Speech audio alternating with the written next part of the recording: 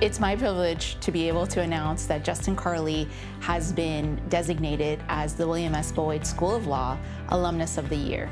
I've only been the dean for the last two years, but Justin was one of the very first alum that I met, uh, which I think speaks to how engaged he is with the law school. Um, he is currently the Senior Vice President and General Counsel of the Las Vegas Raiders. And in that capacity, he has just been so terrific with our students who really want to go into sports law.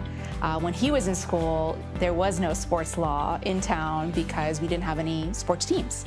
And uh, in the intervening years, he's class of 2006, in the intervening years, we have just seen the rise of sports teams. And so now our students actually have the chance to one day be just like Justin.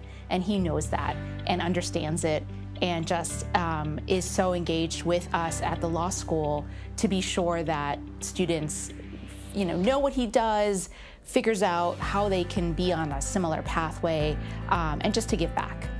When he graduated law school, he went to one of the premier law firms, uh, Snell and Wilmer. He stayed there uh, making partner, which is actually quite difficult to do. And then he went in-house, which is also quite difficult to do.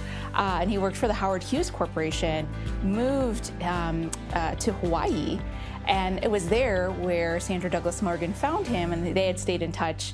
Um, you know, she uh, is a graduate of the law school as well, and they had stayed in touch. And so uh, when the position, the current position opened up, um, his current position, she invited him to apply, and so he did, and the rest is history.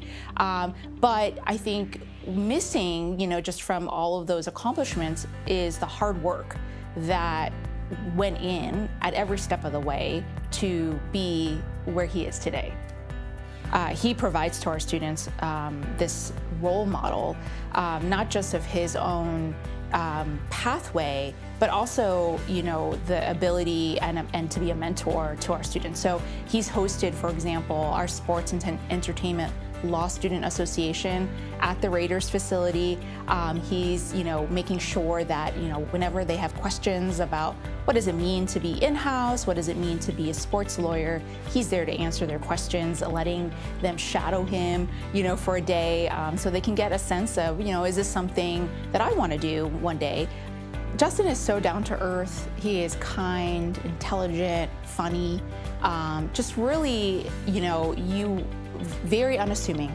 You know, if you passed him in the street, you might think he was a former football player, but wouldn't think that he was at the top of the Raiders organization in the C-suite. Congratulations, Justin, on being the Boyd Law Alumnus of the Year. It's so great to have you as our honoree.